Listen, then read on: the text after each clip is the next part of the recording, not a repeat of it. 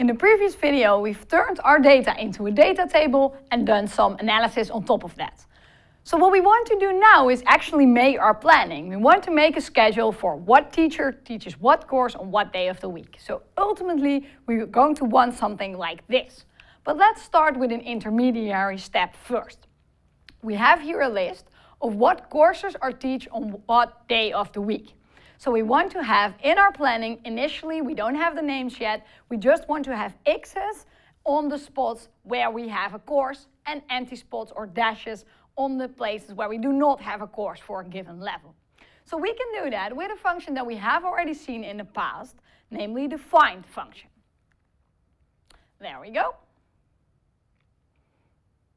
we can use the find function to search for a value in a string, as we've seen before. So we're going to find this one in the list of all the courses that we have on Monday. And we have found it. If we execute this formula, you see that indeed there is a 1 in this string on the first spot, so on 1. And here we have to add a dollar, of course, because if we are going to drag the function down, then we want to stay focused, stay pointing on the first line. And what you see now is that in case we do not find the one, we get an error value. And we can catch that error value with a function called isError. So we can ask Excel, is this formula resulting in an error, yes or no? Or I should say true or false, because that will be the result of the formula. You see in the cases where we have found the one, we get a false. Now we can slap an if on top of that.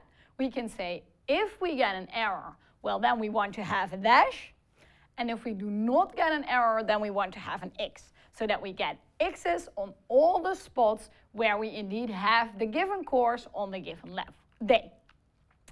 So almost there, we can drag this formula to the right, and then we have our formula. Unfortunately, we have forgotten something. Again, another dollar. They are so annoying and so easy to forget, right? So if we add a dollar to the formula, it will work. We can drag it to the right, and indeed we have got our function. But I do not particularly like this formula a lot. If you look at it, you have the one dollar here and the other dollar there. I'm pretty sure that if you look at this formula tomorrow or maybe in a week or three, you will look at this like, I don't really remember what is going on here. So we can make this formula a lot easier by using, I guess you can guess this, a named range. So if we take this first row of the spreadsheet and change that into a named range, let's call this horse level, horizontal levels. Then there's a special trick that we can use if we use a named range like this. What we can do is we can refer to that named range from a lower row. Let's have a look at how that looks like.